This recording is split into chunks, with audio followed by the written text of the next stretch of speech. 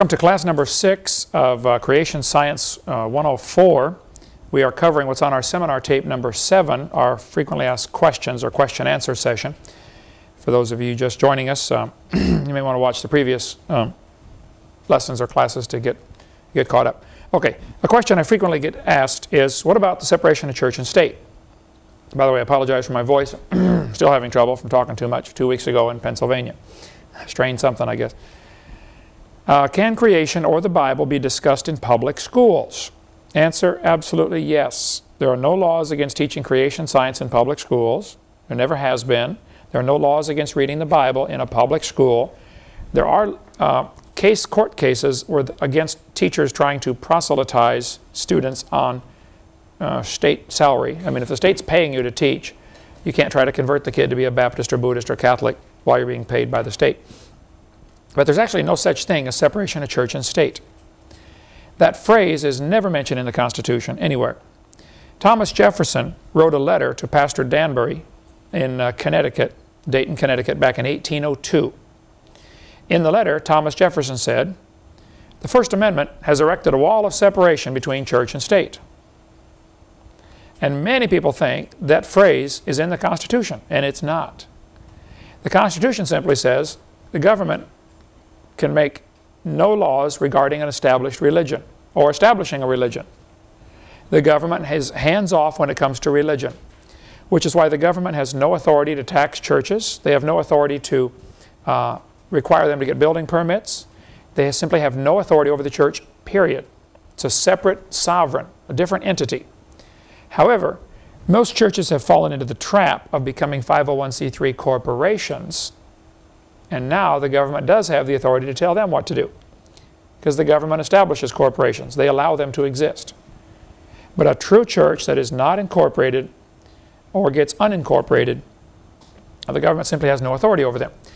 150 years ago, 200 years ago, congressmen and senators and representatives were scared stiff of preachers because the preacher would get up in the pulpit and say, "Oh, Senator Jones did blah blah blah," and he'd just call his name and you know and uh, spill the beans on them. Well, churches were very involved in politics. Matter of fact, if it hadn't been for the churches, we never would have won the Revolutionary War. During the Revolution, King George's soldiers, in many instances, deliberately targeted churches to burn down, to try to, to arrest pastors, because they were the rabble rousers. Uh, the book In Caesar's Grip, which we have in our uh, bookstore over there, would be an awesome one to read if you want more on that. Jeff, have you got into that one yet? In Caesar's? Oh, you're going to love that one by Peter Kershaw. Uh, it's excellent book on that topic. Anyway, there's no such thing as separation of church and state. What it's supposed to be, the church, by the way, when Congress voted in the First Amendment, where they said um, Congress shall make no law establishing a religion, the same day they voted to give $100 or 500 or something to a Catholic missionary to help the Indians in St. Louis. Wallbuilders.com website is by David Barton. He, he speaks all over the world on the topic of you know what our founding fathers' uh, philosophy was. And he said, the wall is a one-dimensional wall. It keeps the government from running the church, but it makes sure Christian principles will always stay in government. And we covered lots more on that earlier. So there's no such thing as separation of church and state. How can we see stars billions of light years away? I frequently get asked this question, matter of fact, every week the um, atheists and scoffers. I do a debate uh, this Monday night in California. I'll be doing a debate, and I'm sure it'll come up again, you know. If the earth is only 6,000 years old, like the Bible teaches, the whole universe is only 6,000 years old, how do we, we see stars billions of light years away? Well, there's no question there's an awful lot of stars out there. The Bible says in Nehemiah chapter 9, Thou, even thou, art Lord alone. Thou hast made the heaven, the heaven of heavens, with all their host, the earth, and all things that are therein, the seas and all that is therein, and thou preservest them all, and the host of heaven worshipeth thee. There's no question the Bible teaches God made the stars, and there are a lot of them. But if stars evolve, like they tell us in school, star births should equal star deaths. Just logical. If the birth rate is less than the death rate in a population, what is going to eventually happen? extinction. Extinction. They're all going to be gone, right?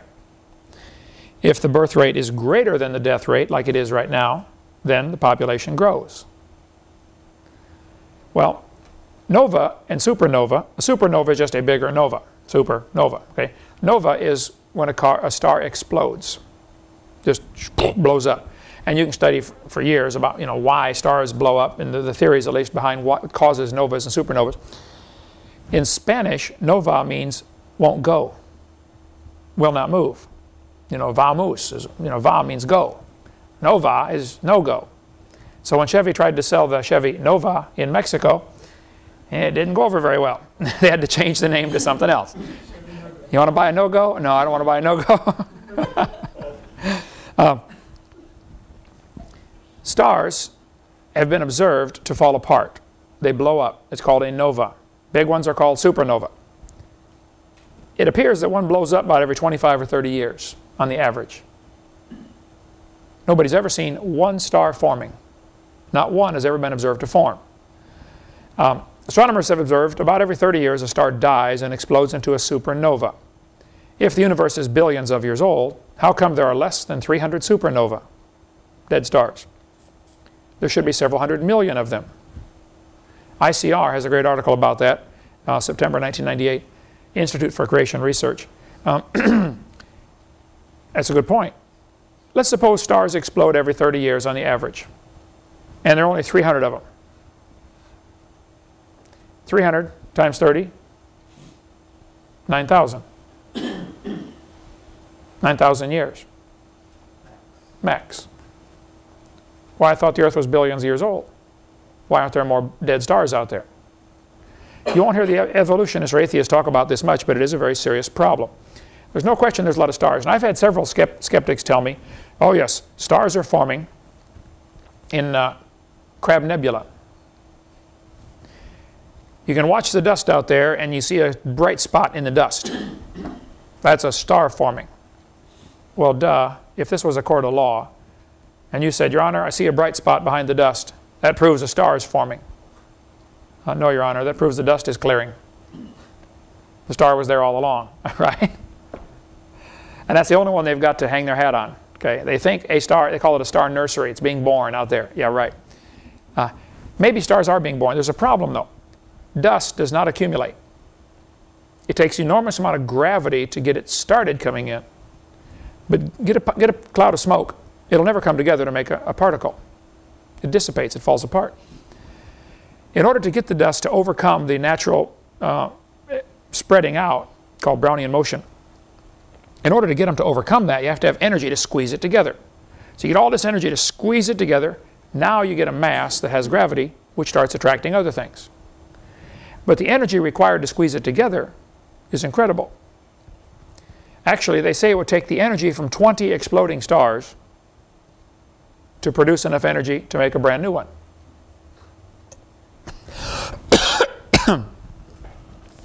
Had an atheist tell me in a debate one time, he said, well, you know, if 20 stars explode near each other, it'll make a brand new star. I said, well, that's brilliant. You got to lose 20 to gain one. You ought to run for Congress and help those guys borrow their way out of debt.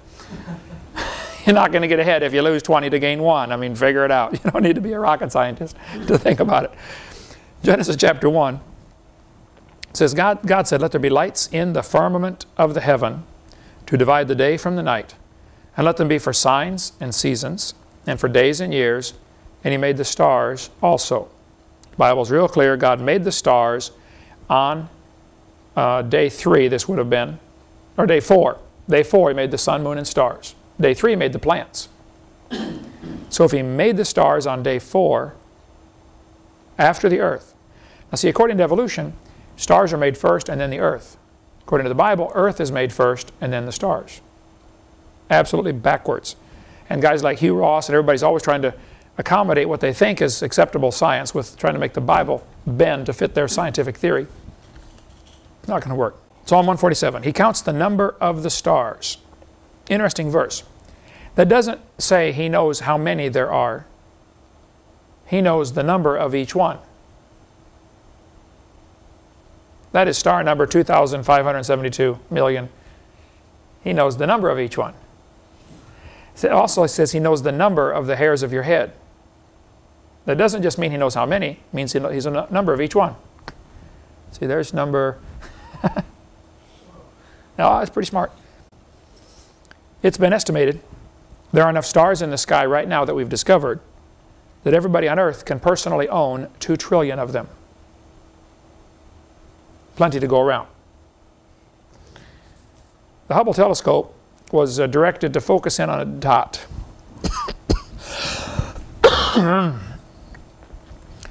They thought they found a black spot in space, no stars, right above the Big Dipper. It's about the size of a grain of rice held at arm's length, a grain of sand held at arm's length. Pretty tiny spot. The Hubble, because of the way it was positioned going around the Earth, it was able, even though it's going around the Earth, it was able at all times to focus on that spot continuously. You know, we can only see the stars a couple hours a night, then they're gone in the daylight. The Hubble was going around in such a position it could focus on that spot continually. After 10 days, they discovered there are more stars in that spot than they could count. These are ones they didn't know about before, plus the ones they already know about. right. They say there are billions, if not trillions, of galaxies, and each galaxy contains trillions of stars. And each star contains how many atoms? Bunch, right? Stephen Hawking, who hates creationists, said, Stars are so far away that they appear to us to be just pinpoints of light. We cannot see their size or shape. So how can we tell different types of stars apart? For the vast majority of stars, there's only one characteristic feature we can observe, the color of their light.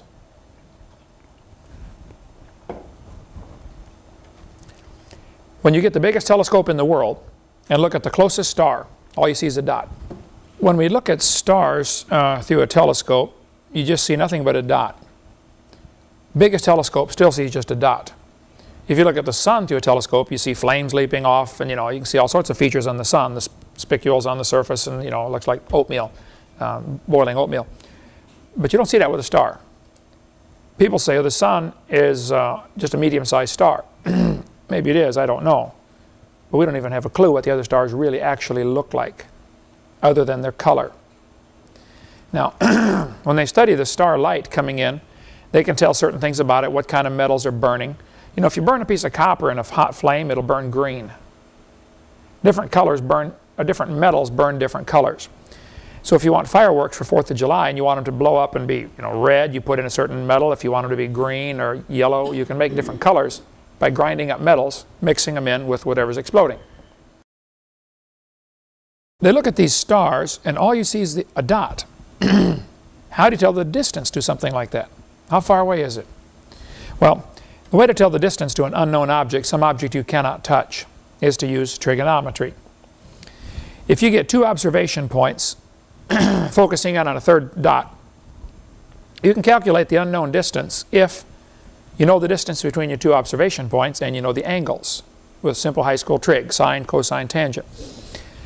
Um, if you want to know the distance across a river, you get look at you stand one spot on the bank of the river, look at a tree, make a line, imaginary line, go down to another place and look at the same tree and make a triangle, and measure the distance between your two observations and get the angles, you can calculate the distance across the river real accurately, depending how accurate your measurements are. Well, the problem is the Earth is only 8,000 miles in diameter. 8,000 miles is really nothing compared to star distance. So if I'm looking at a star here in Florida, somebody on the opposite side of the world in China is looking at a star, actually the opposite side's down south of the equator, 30 degrees, be the middle of the uh, Indian Ocean. opposite from Pensacola is in the ocean over here.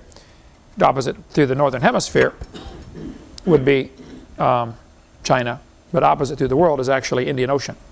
Who cares? Anyway, it's 8,000 miles across the Earth. If two people on opposite sides of the world are looking at the same star, they basically have two parallel lines because 8,000 miles just doesn't count. The what they've done to enlarge the base on the triangle, you look at the star in January, you wait six months, look at the star in June, and now you have a much bigger base on your triangle.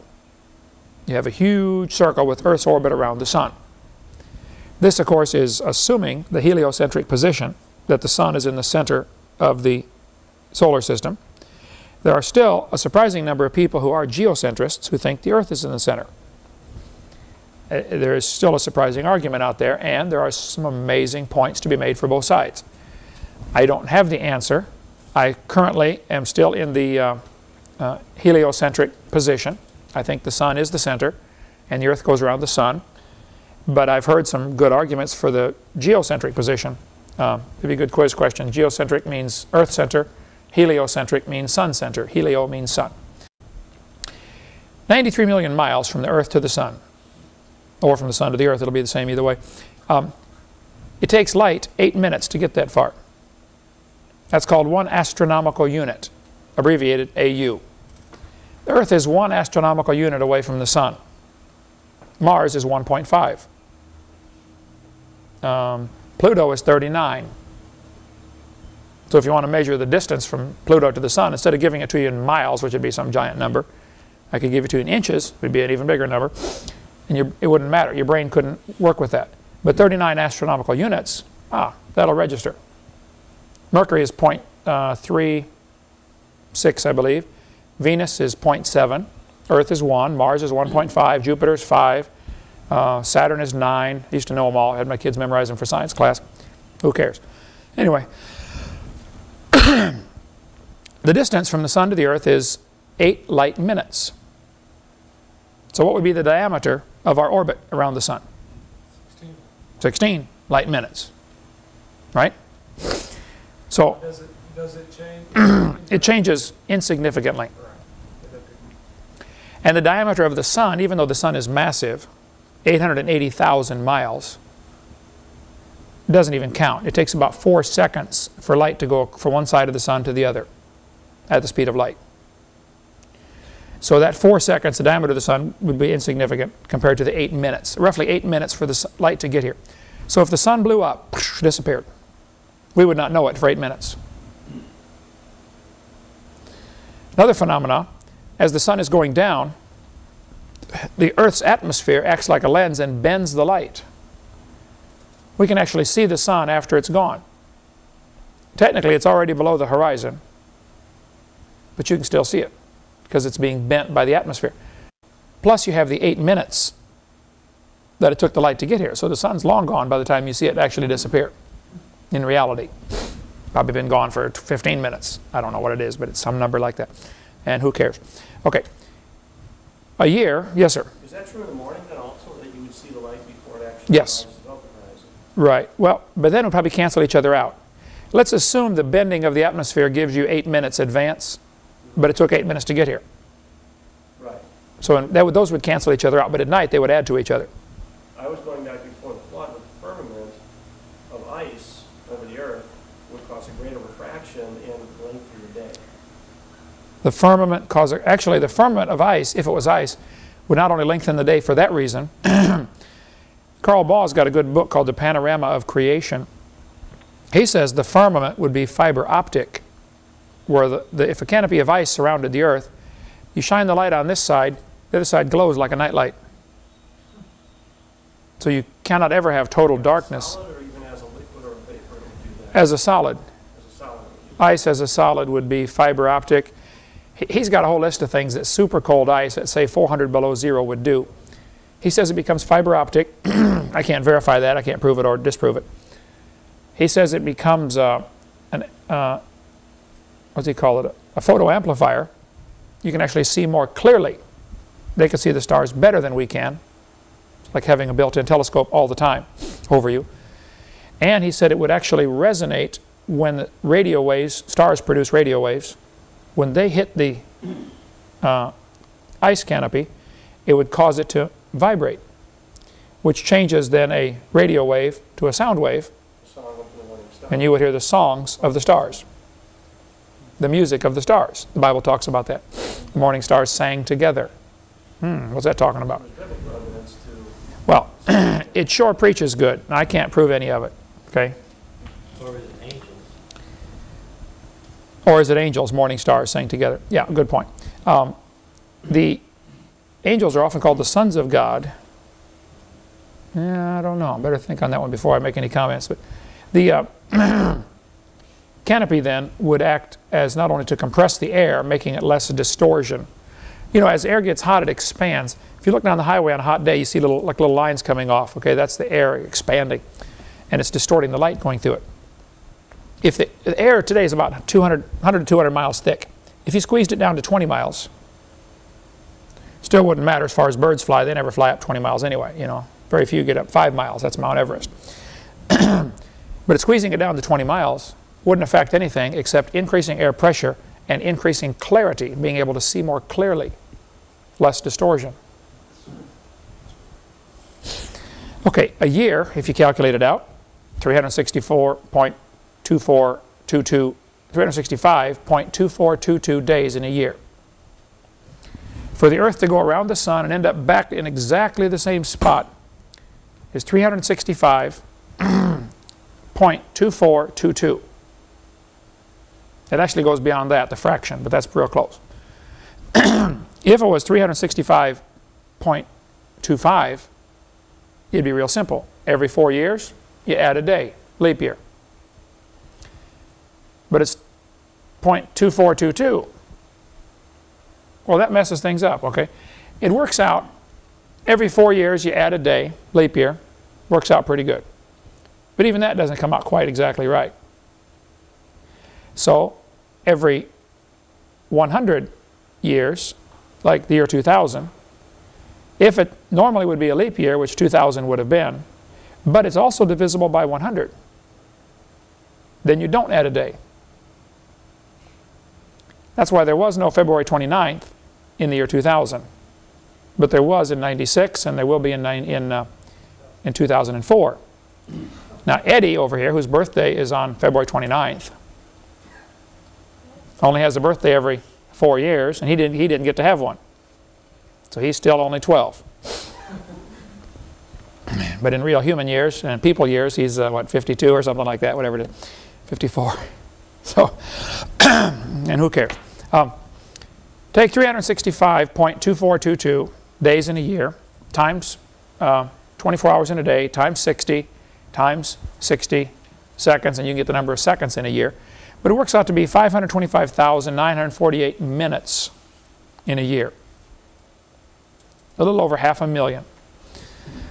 If that little yellow circle represented Earth's orbit around the Sun, which is 16 light minutes across, and a year has a half a million minutes, there's a big difference between 16 and a half a million.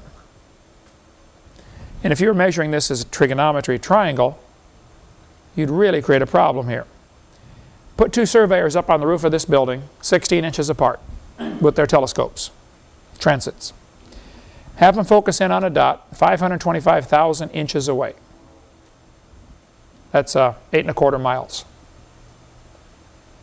Would you agree that forms a pretty skinny triangle? Right? Now keep in mind, this illustration is to show you what one light year looks like using Earth's orbit around the Sun. Not the diameter of the Earth, Earth's orbit. Huge circle is nothing compared to one light year. See, a light year is a distance. It's not a time. And that confuses a lot of folks. A light year is not a time. It's a distance. How far does light travel in a year? About 6 trillion miles roughly. Well, suppose it was traveling 6 trillion miles an hour. Then it goes a light year in one hour. Right? If I said uh, it's 8 Hovind minutes from here to the store, that's how fast I can run. Okay, I can run there in 8 minutes. That's getting longer every year, by the way. But uh, that's not a distance. Well, that's actually a distance. Hovind minute is a distance. If I speeded it up, it'd be quicker, right? So a light year is 500 is the distance light can travel in 525,948 minutes, or one year.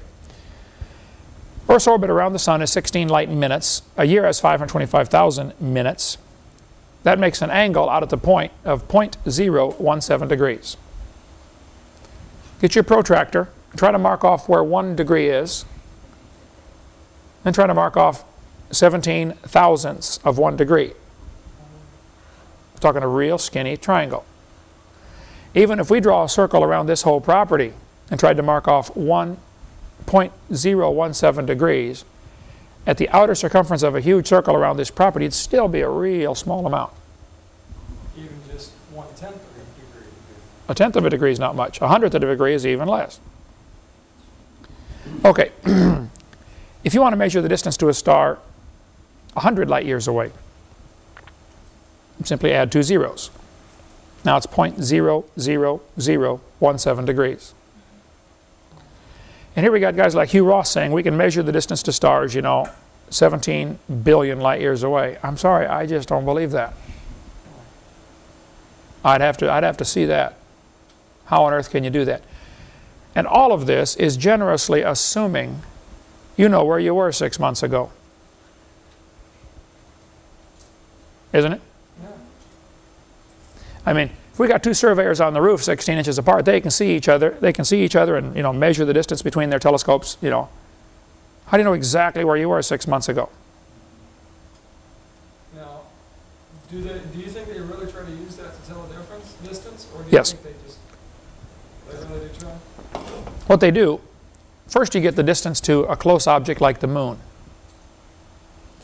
That can probably be done just with two observation points on Earth. They keep refining that distance. Then they use a phenomenon called parallax. If you hold your thumb out, let's say your thumb is three feet from your eyeball, and your eyes are four inches apart from each other, center to center. If you hold your right eye open and look past your thumb to try it. Look at look at the side. Line your thumb up with the right side of the screen, and then switch to your left eye. You see it move back and forth, right? That's called parallax. Now, if you knew the distance between your eyeballs and the distance to your thumb, you could calculate a further distance out by using that parallax. So that we calculate the distance to the moon, then let's use the moon to calculate the distance to the sun.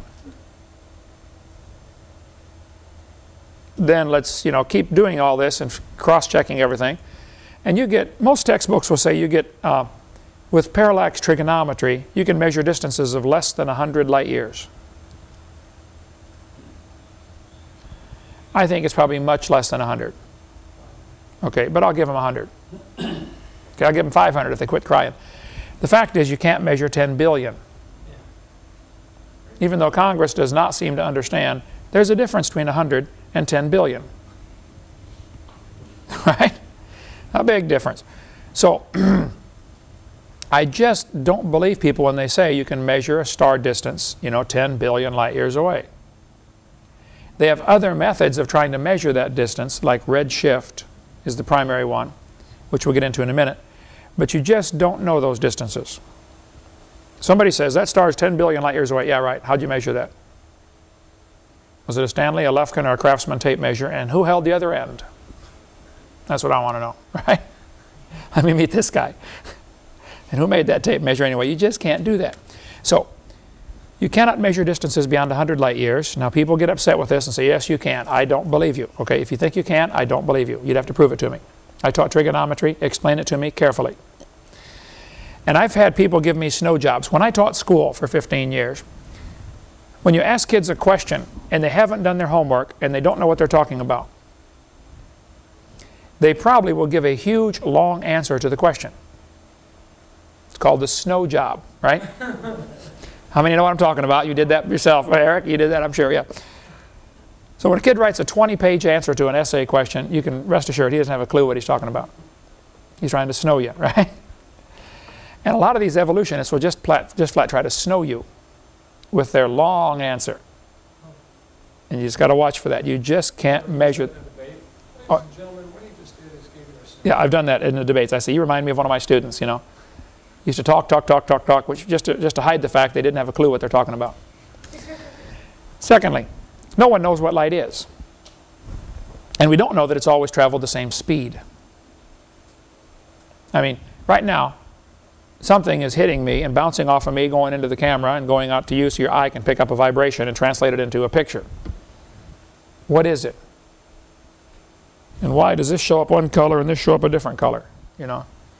What is light anyway? Give me a jar of it, paint it red, and weigh it for me. We don't know what it is. We know what it does, and we use it, obviously, but we don't know what it is, the basic fundamental thing. The idea behind a black hole is that light can be attracted by gravity.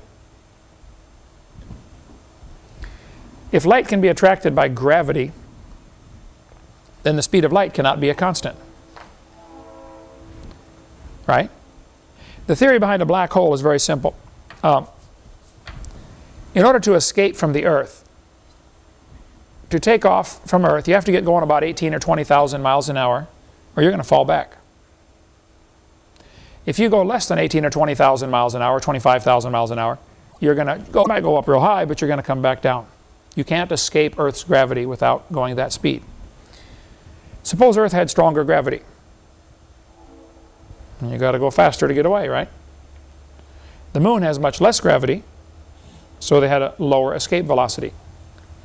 If the moon were the same size as the Earth, and we sent a rocket up there and wanted them to come back, they'd have to bring as much fuel with them to get off there as they did to get off here. Can't do that. So um, the ideas of putting colonies on Mars and colonies on uh, Venus, I think, are highly unlikely because of this problem. They're much more uh, dense than the moon and have a much higher escape velocity. Jupiter, I forget the numbers now, like 318 rings a bell times greater gravity on Jupiter. So if you landed on the moon, you would weigh one-sixth as much. If you landed on Jupiter, you would weigh 300 times more than you weigh right now. Could our bodies handle that? No. Most of your bones, like your knees, can handle, I, I think it's like 17 times your body weight. So when you jump off of a, you know, a step ladder and land, you know, your, your, the bounce is, About five or six times more. yeah, you get up to about 17 times more and something's going to break. You know, if you throw a cat off a 10-story building, he will land on his feet, but he'll walk like a duck for a long time afterwards. they just can't, the bones can only handle a certain amount of pressure. So if you got off the, you know, even on the way into Jupiter, you couldn't have a soft landing for one thing because it'd be sucking you in so hard, you know, you'd splat in Jupiter. And then if you could land and get out of your spacecraft, you'd, you'd lay there and couldn't even lift your hand to scratch your nose. I mean, your hand would weigh 300 times more than it weighs right now. Because, so, suppose you had so much mass in one place that the escape velocity was the speed of light. The, then light can't escape.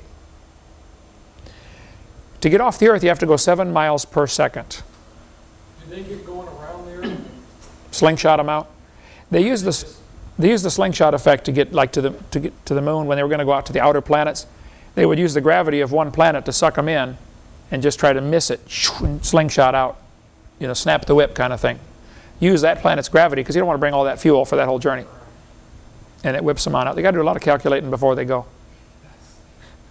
Miss it, miss it, oh. Oops, splat. Ah, I'll get another rocket ready, fellas. So yeah, is that a three or a four? Um, so the theory behind black holes is that you get enough, if you get enough mass in one spot, light can't escape. Problem is then you can't see it. So how do you know there's a black hole there? Oh, because it's dark. Oh, I see. That proves it. uh, duh, that doesn't prove a thing, okay? There might be black holes. I don't know. Nobody knows. It's a theory, a very reasonable theory. They could exist, but it is It's suck all matter in eventually? it, it- within a certain distance. It'd be like a vacuum cleaner. It's much stronger as you get close to the hole, but further away you have less suction. It wouldn't have any effect. Right. So the speed of light may or may not be a constant. Let's take a little break. After the break, we'll finish talking about the speed of light and starlight and get into um, Cepheid variables and redshift right after the break. All right, so black holes are theoretical, probably real, don't know, nobody knows. How could you prove one existed? I think there's light getting sucked in over there. Okay, maybe so. Maybe there's a cloud coming across your telescope, you know flock of birds, maybe. Um, Like one guy uh, had said he saw planets around a star. See, nobody's ever proven the existence of planets around a star, another star besides the sun. Okay? And every night he took thousands of pictures, you know, and he would see the, uh, the, the star appeared to move back and forth a little bit. And he said, oh, see, that's the planet going around and it's causing the star to be, the gravity's pulling the star off course. Found out he had a wobble in his telescope base. Oops. there might be planets around other stars. I don't know. It doesn't matter to me. Okay. But nobody's ever proven they exist, uh, as, far as, as far as I'm concerned. Okay. In February of 1999, Houston Chronicle ran an article, page 10a, about a Danish physicist named Dr. Hau, working at Harvard, was able to slow light down by cooling it. They cooled it to 50 billionths of a degree above absolute zero. Can I really measure that exactly? I don't know. Pretty chilly. Don't lick it. Isn't that temperature out in the universe, I mean, out in space? Out in space is real close to that. It's about three degrees above that is what they think, negative 456. This is Fahrenheit. If you do it in Kelvin, it'd be zero. If you do it in centigrade, it's negative 273. But uh, they slowed light down. When they got it that cold, light slowed down to 38 miles an hour. Then in February, a couple of months later, uh, February 2000, a year later, they slowed it down to one mile an hour. Then in the January of 2001, they stopped it. NewYorkTimes.com had an article. Researchers say they have slowed light down to a dead stop. What's it look like when it's not? I don't know. They stored it and then released it as if it were an ordinary material particle. The achievement is a landmark feat that by reining in nature's swiftness and most swiftest and most, most ethereal form of energy for the first time could help realize what are now theoretical concepts for vastly increasing the speed of computers. Right now, the speed of computers, of course, is dependent on the speed of light. If the electricity can only go through there at 186,000 miles a second, what if it went through instantly? Gigahertz would be out. Gigahertz would be it's a snail, right? Another thing to consider, people say, boy, if I could travel at the speed of light, I'd go visit all the stars. Yeah, right, you'd be an old man by the time you got to the first one, right? What if you could travel at the speed of thought? All you have to do is think about being there. Of course, with some people, that'd be even slower. Um, right? So I had some students, they'd, they'd die if they did that. Um, see, when we pray to God, how long does it take our prayers to get to heaven? Apparently faster than the speed of light.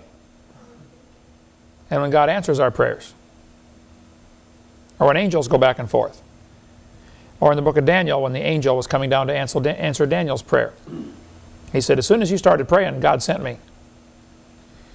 Which leaves us, in our way of thinking, everything is three dimensional. So heaven is out there someplace, okay? What if heaven is in a different dimension and it's right next to us, a half a second in the future? Oh, it's always a half a second. or you know, a millionth of a second or something, you know. What if there are other dimensions we have no concept of? Don't have a clue.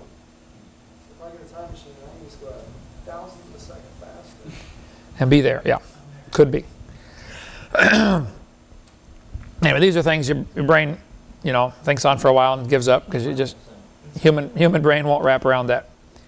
Two independent teams of physicists have achieved the result. One led by the same Dr. Hau of Harvard and Rowland Institute for Science in Cambridge, Massachusetts. The other by Dr. Ronald Walsworth and a couple other guys whose names I cannot pronounce. Anyway, that Smithsonian and um, Harvard Smithsonian Center for Astrophysics in Cambridge. So these guys were uh, slowing light down by cooling it and got down to actually stopping light altogether. In June of 2000, uh, the Sunday Times in United Kingdom announced, scientists claim they have broken the ultimate speed barrier, the speed of light. In research carried out in the United States, particle physicists have shown that light pulses can be accelerated up to 300 times their normal velocity. Dr. Li Jun Wang of University uh, Research Institute in Princeton transmitted a pulse of light toward a chamber filled with specially treated cesium gas, and the light went through faster than light, 300 times faster. So the obvious question comes up, is the speed of light a constant? All of the arguments about the universe being billions of years old because the stars are so far away, all of those arguments are based on the assumption the speed of light is a constant. Daniel, you asked the question uh, uh, before the break, or just during the break, what was it about uh, the starlight? oh, are all the stars within a 6,000 light year radius, I guess? No. I, I, no question. There's so many stars. There's trillions of stars and trillions of galaxies. They're, they're, they're, they're long ways away. Much farther than 6,000 light years, for sure. But that doesn't mean the universe is more than 6,000 years old. If the speed of light has not been a constant through time. Matter of fact, um, Barry Setterfield has an article here in uh, Atomic Constants, Light and Time magazine. During the last 300 years, he said, at least 164 separate measurements of the speed of light have been published. 16 different measurement techniques were used. The different ways to measure the speed of light. One way, if you know the distance to the moon, and the moon is moving across the sky in front of a star, you focus on that star carefully, and as soon as the moon goes past, how long does it take the light to get to you? Now you have a 243 million mile distance and uh, get a quick stopwatch and calculate the speed of light. There's 16 different ways that it's been measured. The way we did it in physics class when I was in uh, school, you get mirrors, a bunch of mirrors in a, arranged in a circle like those uh, disco balls, whatever they call them, okay? You shine a laser all the way down the hall, bounce it off a mirror, bounce it back to another mirror, this disco ball, and bounce it back down the hall to a white piece of paper and the length the light travels in is three trips down the hallway. Get your disco ball spinning on a record player, 33 RPM or 78 RPM or something. The light's going to bounce off that mirror, and once you get to a certain speed, you're going to see the light on the, the final leg on the piece of paper start to move. And now you can calculate how far did the light travel from the time it left the laser, bounced off the mirror, Came back, bounced off this mirror, the mirror moved a little bit. Enough that even at the speed of light, you're able now to tell. If the little calculations, you can look up in a physics book how that's done, but it's not that complicated to measure the speed of light. Now, several of the methods are very, very simple. Setterfield says it's been measured for 164, 164 separate times over 300 years. He said the speed of light has decreased so rapidly that experimental error cannot explain it. Here's the chart that Barry Setterfield got. Measurements back from 1860, clear up until the present. Now there's a margin of error. You see the lines on there? Different people measured the speed of light, and they would say the speed of light is x amount plus or minus so much. What he has graphed here is his um, the average of the light speeds that have been measured over the last 100 and, uh, over the last 300 years. Or since 18, 1860, over the last 140 years. He said the speed of light decreased until about 1960. And the speed of light today, if you measure it, you always get the same. 186,000 miles per second. So why did it level out in 1960? Well, Probably because that's when they invented the atomic clock. And I'll explain why. Everybody else is getting a greater number for the speed of light. Not much greater, a little bit, okay? You won't notice a difference when you shut the lights off to get to bed, okay? It's still real quick. But if the speed of light is decreasing until 1960, what made it level out? Let's assume that it has decreased. This article says, uh, no physical law prevents anything from exceeding the speed of light. In two published experiments, the speed of light was apparently exceeded by as much as a factor of 100. This is clear back in 1988. They were getting measurements 100 times faster than the speed of light. So you can't say the speed of light has always been a constant. The atomic clock measures time based on the wavelength of a cesium atom. Let's see, the paragraph where it starts off, uh, as a result, they defined the second of atomic time as the length of time required for 9,192,631 192,631,770 cycles of a cesium atom at zero magnetic field. You're measuring the wavelength of a cesium atom and determining, okay, this is one second. Well, duh, if you're measuring time, if you're measuring light with light, you're not going to notice any decrease because your clock is decreasing at the same rate, right? So you have a rubber ruler. If our clock is decreasing, does that mean time itself to us is decreasing? Or just, is it so insignificant, we're not gonna notice it in our lifetime? We won't notice it in our lifetime or in a bunch of people's lifetimes. Um, the article that Walt Brown has in his book is really good about uh, atomic clocks. He said atomic clocks are very precise, but that does not mean they're accurate. He goes to great detail the difference between precision and uh, accuracy. Read that when you get time. Dr. Troitsky said the speed of light was 10 billion times faster at time zero. Now, what does he mean by that?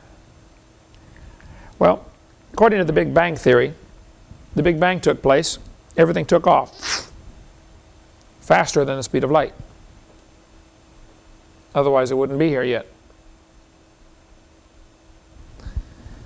So things were going faster than the speed of light initially. They have to believe that in order to get the universe to put together. See, and Hugh Ross has swallowed all of this and doesn't see the problem. Everything is based on the assumption that the speed of light has always been the same. Uh, Dr. Joe Joao Magueijo, whoever he is, said, a shocking possibility is that the speed of light might change in time during the life of the universe. So I don't think we could prove the speed of light has always been the same. We certainly cannot measure the great distances to the stars. They probably are billions of light years away, but we don't know that. We can't measure it. Okay. Thirdly, the creation was finished. It was mature. When God made it and he was done, they could already see the stars. Even if they're billions of light years away, they could already see them. I often ask people, how old was Adam when God made him? Mean, zero. Did he look zero? No. No. He looked 48, prime of life. Um, and so, if you walked into the Garden of Eden the day after God made it, you'd see all these beautiful trees, all the fruit on them. Wow, how old are these trees? Zero. Did they have rings? Yes. I don't know. Rings add strength to the tree called the laminate effect. You have hard ring, soft ring, hard ring, soft ring. Otherwise the tree, all hard rings, it's real brittle, it breaks. All soft rings, it, you know, like jello, can't stand up. So combination of the two gives you both strength and flexibility. Which is why God sometimes puts us through hard times and good times and hard times and good times and you know that adds those layers to your life and you get both strength and flexibility. So God did not make two babies and put them in the Garden of Eden and hand them a package of seeds and say, here, plant these quick, you're going to need supper.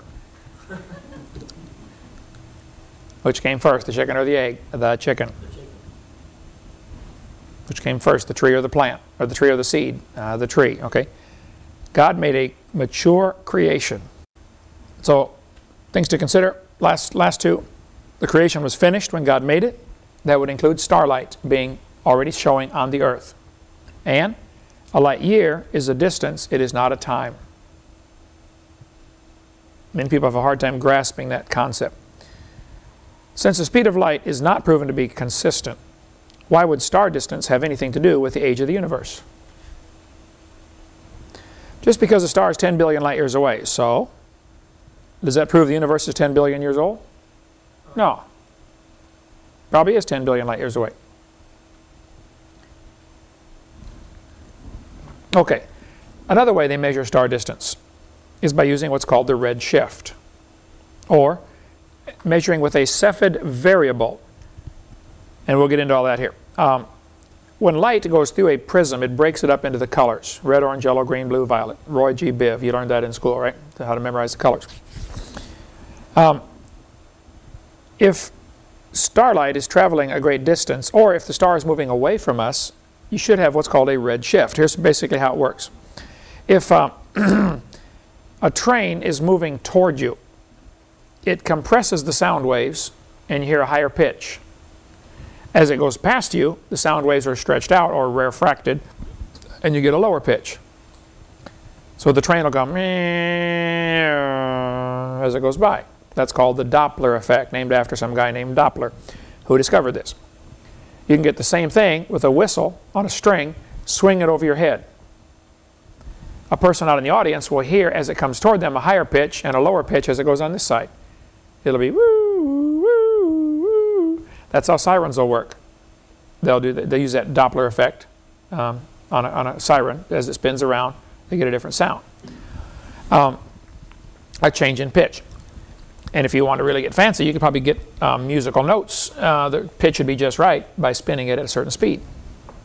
Or you could play, you know, B flat and uh, C sharp or something if you want. So the train is using sound waves, and we know the Doppler effect works with that. The assumption is maybe the Doppler effect works with light. So if a star is coming toward us, it'll compress the light waves. If it's going away from us, it'll stretch them out, causing a red shift. So they say if a star is moving away, this, the light should be shifted toward the red end of the spectrum. Sounds good, possibly true. Nobody knows for sure what's causing the red shift. Um, Geoffrey uh, Burbidge and uh, Adelaide Hewitt said in an article, A Catalogue of Quasars Near and Far, Sky and Telescope magazine, 94, they said there was an early sign that redshifts reliably indicate the distance. Keep that in mind. They thought, wow, look how far that's redshifted. That proves it's X number zillion miles away. The distances of galaxies. For QSOs, abbreviated quasars, quasi-stellar object called a quasar, However, the diagram shows a wide scatter in apparent brightness at every redshift. In fact, there is little correlation of brightness to redshift at all. Either quasars come in an extremely wide range of intrinsic luminosities, that means their brightness. Maybe quasars are a lot different brightness. Maybe one quasar is real bright, one's real dim, as most people believe, or their redshifts do not indicate distance. Here's a guy admitting we don't know that redshift indicates the distance to the stars. Maybe it does. Or maybe it doesn't.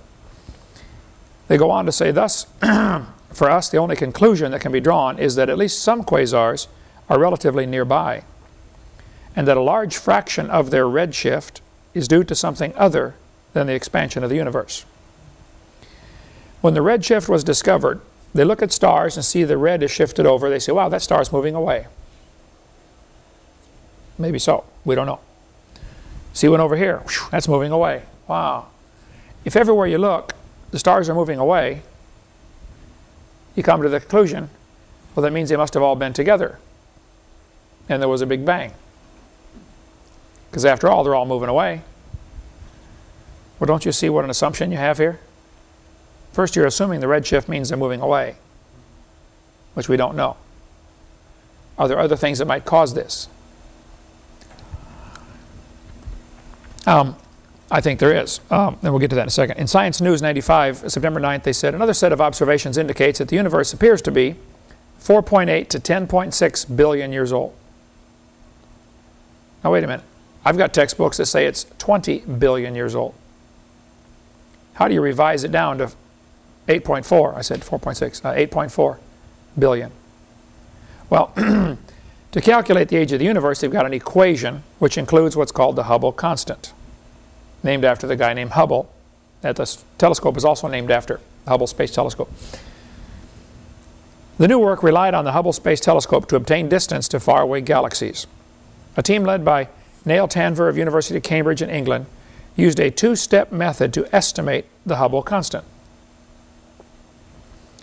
First, they observed a type of standard candle known as Cepheid variables to find the distance to the spiral galaxy M96. You have to be careful about drawing conclusions because of the Hubble constant. Measurements have huge systematic errors. Suppose I was going to calculate the population of the Earth in uh, 100 years. And I say, well, the population grows by 8% every year.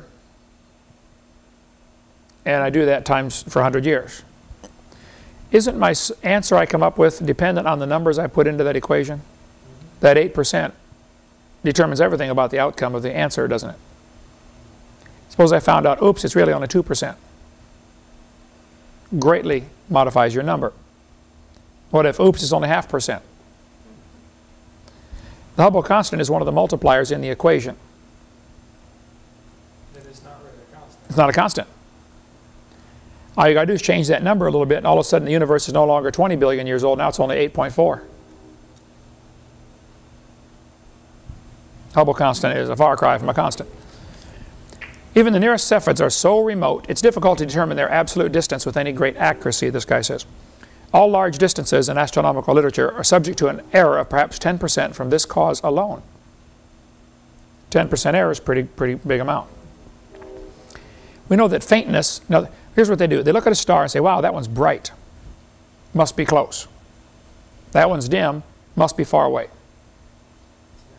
error in logic right there. called faintness. How bright is the star? The faintness arises from two causes, distance and absorbing matter. There's a cloud in the way. Something's absorbing the light. I could shine a bright spotlight through something that would make it look very dim to you and it'd only be five feet away. And you would say, wow, it's pretty dim, must be millions of miles away. No, there's something absorbing the light in between. He said it's generally not generally possible to apportion, apportion the accuracy it accurately between the two. The Bible says God stretched out the heavens. He stretches them out. Several different references in the Bible talk about God stretching out the heavens. Maybe that is what is causing the red shift, the stretching of the heavens. So let's close here. What's causing the red shift? Nobody knows. A couple of theories. One is the heavens are stretched out. if God created everything from here and stretched it out. The star is moving. And we would see a red shift in the light. Not because it's billions of years old, but because God stretched it out. Okay? Could be the light's getting tired. Everything else gets tired when it travels a long ways. I do. Right? Maybe the light is getting tired why you get a red shift. Maybe it's just the effects of traveling great distance. Maybe it's the Doppler effect. Maybe the star is moving away. It's a very reasonable possibility, but not the only possibility. Maybe light is being slowed down or speeded up by gravity. If black holes are real, suppose a star is sending its light to the Earth and it's going near a black hole, but not going to hit it.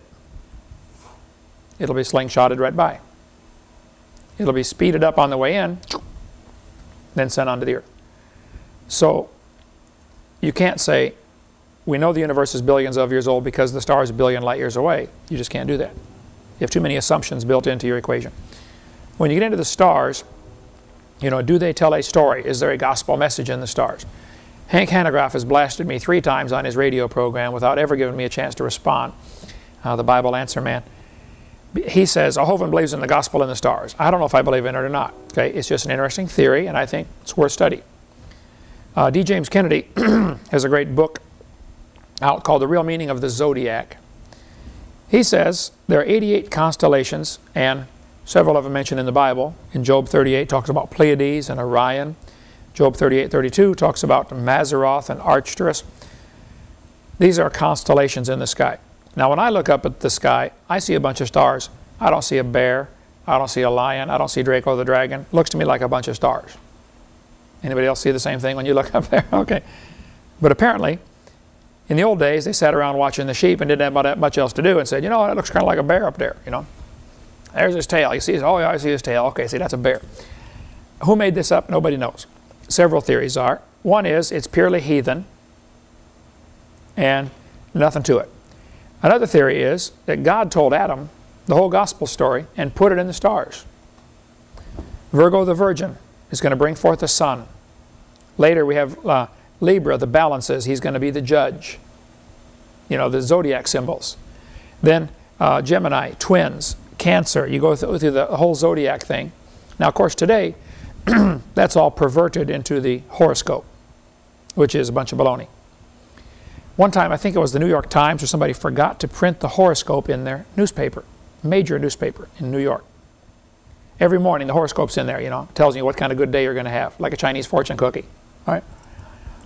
A million people refused to go to work because they couldn't read the horoscope to find out if they're going to have a good day or not. We got a word for that down here in Florida. It's called stupid. Okay? Those New Yorkers that didn't go to work need some help. The stars do not have any influence over what's going on. Except if you lay out too late watching them, you won't be able to get up in the morning and go to work because you didn't get enough sleep. So these are these constellations. The 12 zodiac symbols has other minor constellations associated with it. There's 88 total. And D. James Kennedy's book and many other books have been written claiming that this is actually telling us a story. The gospel story. That could be, I don't know. I think if you want to study it, great, enjoy yourself. But Hank, don't accuse me of teaching that dogmatically because I don't. Okay, I don't know the truth on that, and I'd like to get on and defend myself on your program sometime if you want to be fair about it. Virgo the Virgin is one of the star clusters. Uh, Leo the Lion is another one. Some people have said the Sphinx might be put there, might have been put there to tell us how to read the zodiac symbols. You start with Virgo the Virgin, the face of a woman, and it's got the body of a lion on the Sphinx by the Great Pyramid. Interesting study. Okay, next week, take up some more questions, then we'll hopefully get into uh, um, be, able to finish all the questions and answers over the next uh, few lessons so we can finish after uh, 104 and we'll get into carbon dating. How does that work? Try to get into that next week. Thank you so much.